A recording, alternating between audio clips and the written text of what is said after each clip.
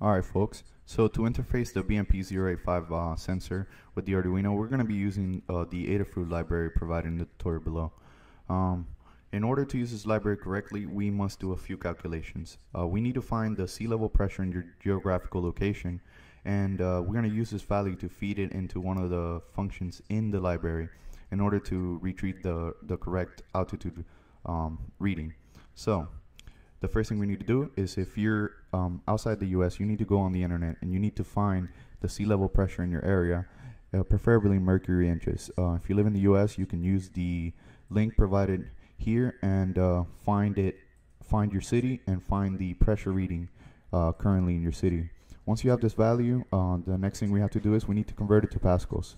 So we're going to use the conversion method. For every uh, mercury inch, there's approximately 3,386 um, pascals. So you're just going to multiply. Like for example, in Miami, the current reading is 29.93 mercury inches. So we will multiply this by 3,386 and we will get the uh, the reading that we're going to basically um, pass to the read altitude function to get the correct value. In our case, the number was 101,253 pascals. Uh, this number should be completely different for you um, for your reading. Once you have this value, let's move on to the next uh, section.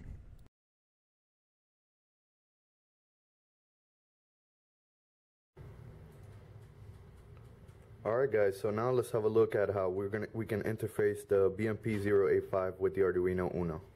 Um, so you may notice right here, um, the BMP085 has six pins.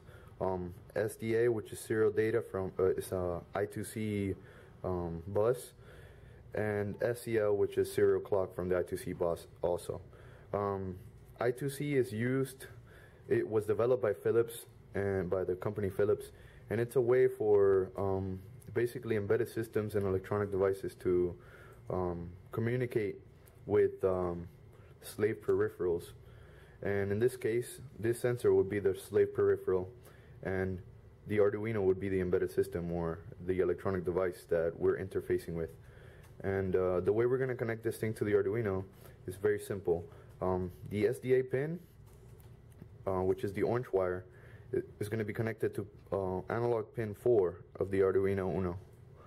Then you're going to grab the green wire, which is the serial clock or SCL pin from the um, BMP085. Uh, you're going to connect that to analog pin 5 of the Arduino as so.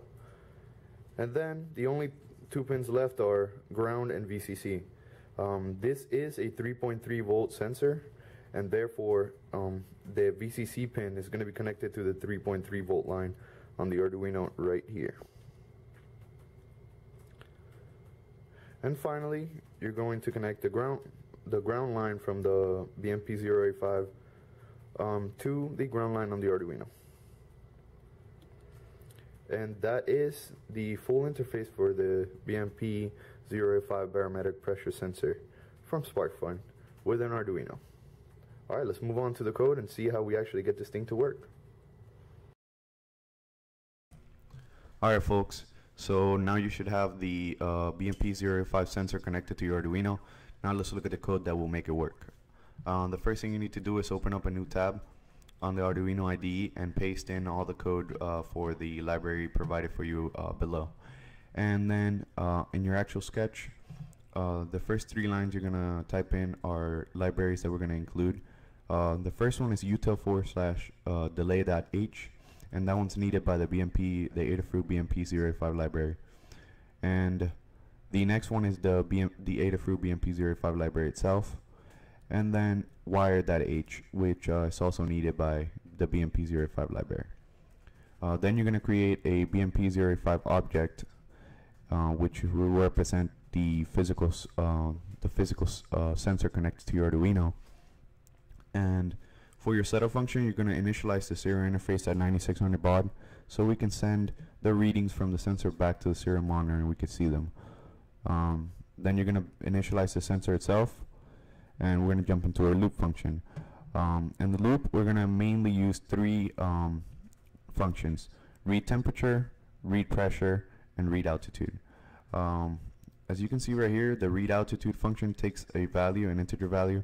Um, that is the number that we calculated earlier uh, for um, basically the out the pressure at sea level in your geographical location. Uh, in Miami, it just happened to be 101,253, but uh, this number should be different for you. And finally, we wait 500 milliseconds. And this is going to give us enough time uh, for our sensor to stabilize after the reading and uh, before it actually does the next reading. So we can have accurate readings. Um, and that's pretty much it, folks. That is the whole um, sketch for um, the BMP085 sensor uh, using the Adafruit library and uh, an Arduino Uno. Remember to check back at our social network for new tutorials and check out our YouTube channel for more videos.